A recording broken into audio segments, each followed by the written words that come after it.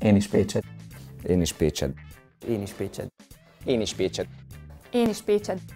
Én is Pécsen diplomáztam, és annak idején nagyon egyszerű volt erre a válasz, ugyanis körzetesítve volt az ország, tehát csak oda jelentkezhettünk, ahova a körzet kijelölt bennünket. Következésképpen nem mehettünk máshova. De ettől még nagyon szerencsések vagyunk, mert ez egy csodálatos hely, és nagyon jó volt ott tanulni, nagyon élveztük fiatalként, diákként, megtanultunk felnőttnek lenni, megtanultunk viselkedni. Egy kis faluból származom, ahol én vagyok az első diplomás, ahol nem igazán volt képe annak, hogy hogyan működik az, hogyha valaki felsőfokú végzettséggel rendelkezik.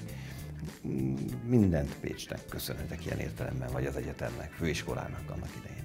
Én voltam az Universitás utcai kollégiumnak a diákvezetője, vagy négy éven át.